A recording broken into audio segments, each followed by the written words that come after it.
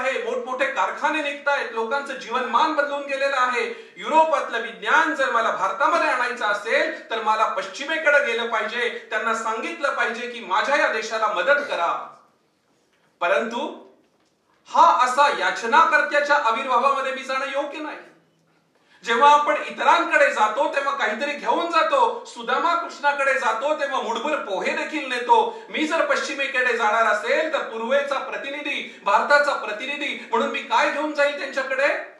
मी त्यांच्याकडे नेणार माझ्या सर्वोच्च संस्कृतीचा वारसा.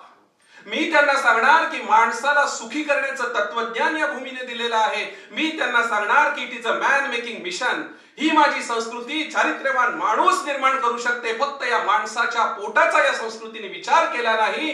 त्यासाठी विज्ञानाची मला गरज आहे. ते विज्ञान तुम्ही मला द्या. मी तुम्हाला आमचा अध्यात्म देतो.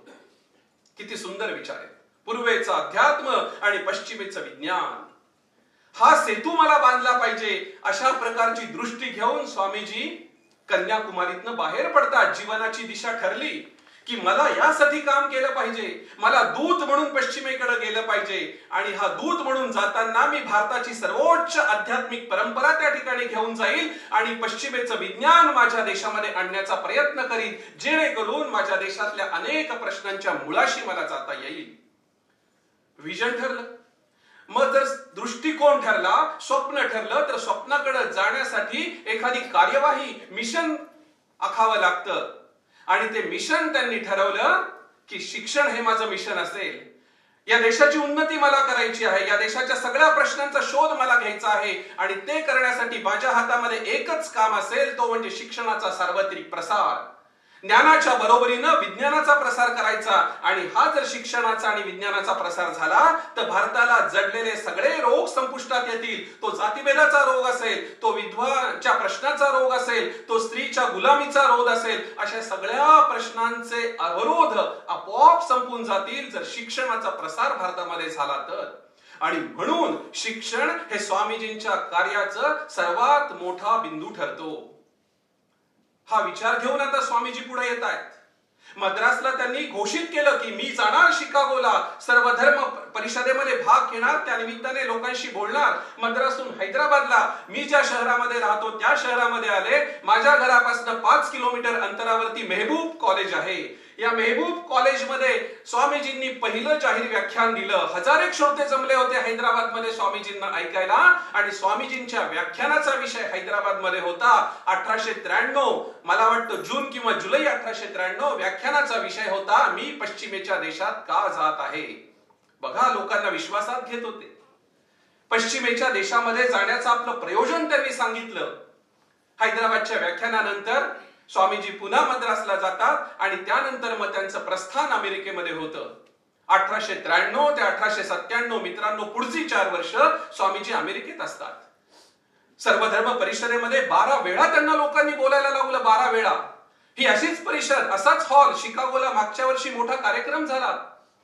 आणि या सभागृहामध्ये जेव्हा जेव्हा श्रोते कंटाळवाणं भाषण ऐकायला लागू नये म्हणून उठायचे तेव्हा संयोजक अशा प्रकारची घोषणा करायचे की या भाषणांच्या शेवटी नरेंद्रनाथ बोलणार आहेत विवेकानंद बोलणार आहेत पुन्हा हजारो लोक त्या ठिकाणी कंटाळवाणी भाषण ऐकायला थांबायचे. याचं कारण विवेकानंदांच्या मुखातून बाहेर पडलेले पाच शब्द देखील त्यांना अमृताचे वाटायचे. बारा वेळा विवेकानंदांना बोलायला लावलं.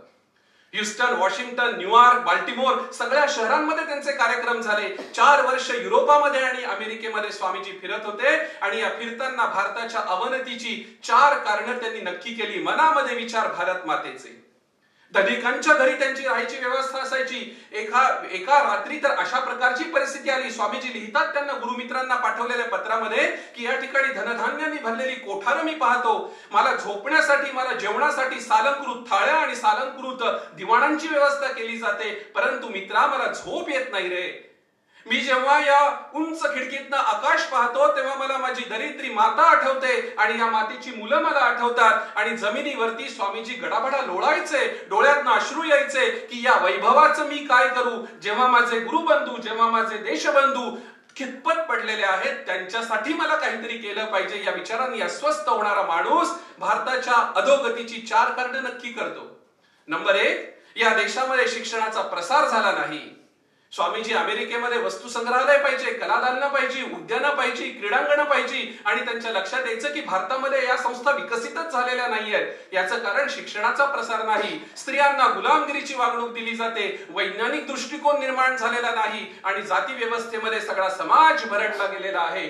जाती व्यवस्था स्त्रियांना गुलामगिरीची वागणूक शिक्षणाचा अवरोध अशा प्रकारची कारण स्वामीजी मनामध्ये नक्की करतात. आणि त्या दिशेनं प्रवासाला सुरुवात होते.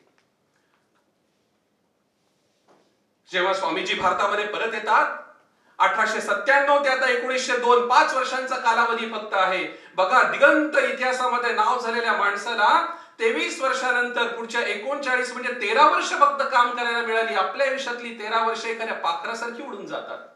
या माणसाने तेरा वर्षांमध्ये जगपराक्रम केला. त्या तेरा वर्षांमधली चार वर्ष संन्यस्त संघासाठी काहीतरी अभ्यास केला. तीन वर्ष भारत प्रदक्षिणा केली. पुढची चार वर्ष पश्चिमेकडे घालवली आणि या सगळ्या अनुभवाचं संचित शेवटच्या पाच वर्षांमध्ये भारतामध्ये आणून दिलं. अमृत अमृताचं संचित अनुभवांचं संचित. काय आहे अनुभवांचं संचित? ते सगळं झालंय शिक्षण या एका केंद्राभोवती. त्यांचं संकलित झालेलं आहे. स्वामीजी म्हणतात आता मला प्रसार करायचा आहे तो शिक्षणाचा. आणि मग ते सांगतात की व्हॉट इज एज्युकेशन ते सांगतात education is a manifestation of the wholeness manifestation of the perfection which is already exist in the mankind माणसाच्या मनामध्ये पूर्णत्व असतच. ते तुम्हाला आणावं लागत नाही. एखादी बी असते ना झाडाची. त्या बी मध्ये काही तुम्ही फोडून केमिकल घालता का? मुळेच नाही.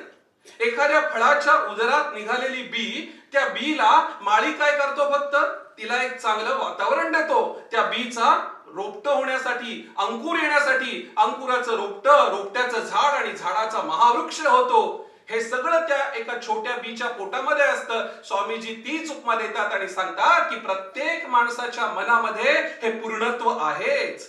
शिक्षण काय करतं? त्या पूर्णत्वाचं प्रगटीकरण करतं. बघा किती सुंदर विचार आहे